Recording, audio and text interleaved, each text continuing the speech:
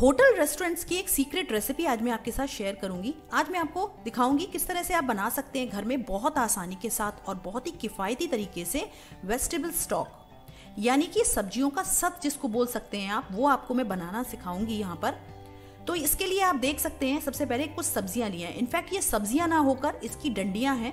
तो हम लोग घर में सब्ज़ियाँ काटते हैं तो उसकी डंडी वगैरह तो बचती ही हैं तो आप देख सकते हैं, यहाँ पर ये फूल गोभी की डंडी है, गाजर की डंडी है थोड़ा सा मैंने प्याज ले लिया है, पत्ता गोभी का जो हार्ड वाला पार्ट होता है, डंडी होती है, वो ले ली है। और थोड़ी सी गरम मसाले लिए हैं, जिसमें आठ दस काली मिर्च के दाने हैं चार पाँच लौंग हैं, दो तेज पत्ते हैं, एक इंच दालचीनी का टुकड़ा है।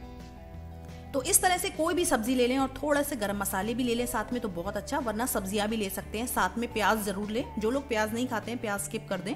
और सारी सब्जियों को लेकर आपको एक लीटर पानी में डालकर अच्छे से उबालना है। लगभग इसको हम लगभग 20 से 25 मिनट तक उबालेंगे और उसके बाद में ठंडा होने देंगे। ठंडा होने के बाद में इसके पानी को हम अलग कर देंगे और जो पानी बचेगा, उसी को ही हमें as a vegetable stock use करना है और जो सब्ज़ियाँ हैं जो सब, ये सारी तो डंडी ही हैं तो इनका जो भी सत होगा वो पूरा के पूरा पानी में आ जाएगा और उसके बाद में हम इसको फेंक देंगे।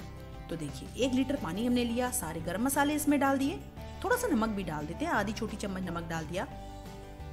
तो आम के आम और गुटलियों के दाम, यानी कि सब्जियों में आपको डंडियों को फेंकने की ज़रूरत नहीं है, उससे आप इस तरह से वेजिटेबल स्टॉक बनाकर रख सकते हैं। आप कोई भी चाइनीज़ सूप बना रहे हो, घर में वेजिटेबल सूप बना रहे हैं मंचाओ सूप बना रहे हैं हॉट एंड सार सूप बना रहे हैं आप स्वीट कॉर्न सूप बना रहे हैं तो होटल वगैरह में जो भी सूप बनता है तो इसी तरह से वेजिटेबल स्टॉक बनाने के बाद में उसका यूज़ करके वो लोग सूप बनाते हैं। हम लोग घर में बनाते हैं सिंपल पानी का यूज़ करते हैं और वो टेस्ट नहीं आता। रीजन यही है। कलर भी आता है इससे, बहुत अच्छा हमारे सूप का। इससे न्यूट्रिशन भी बढ़ता है और साथ ही टेस्ट भी आता है। तो इस तरह से अगर आप घर में बनाएँगे वेजिटेबल स्टॉक तो आपका भी सूप बिल्कुल मार्केट जैसा बनेगा होटल रेस्टोरेंट जैसा बनेगा। तो आज आपने सीक्रेट रेसिपी जान ली है वेजिटेबल स्टॉक बनाने की। तो ये वेजिटेबल स्टॉक आप बनाकर रख सकते हैं। इसको आप पहले से बनाकर रख लीजिए और आराम से आप इसको चार से पाँच दिन तक, इनफैक्ट वन वीक तक भी आप इसको स्टोर कर सकते हैं। अगर देखिए विंटर्स का सीज़न है तो वन वीक तक आप इसको स्टोर कर लीजिए। अगर समर्स है तो आपको दो से तीन दिन में ही इसको यूज़ करना पड़ेगा।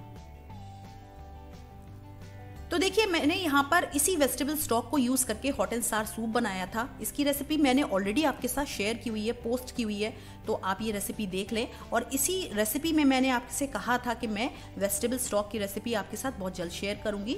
तो इसका लिंक भी मैं दे दूँगी उस वीडियो में भी, और यहाँ पर मैं आपको इसी वीडियो में हॉट एंड सार सूप की रेसिपी रेसिपी का लिंक भी दे दूँगी। तो डिस्क्रिप्शन बॉक्स आप चेक कर लें।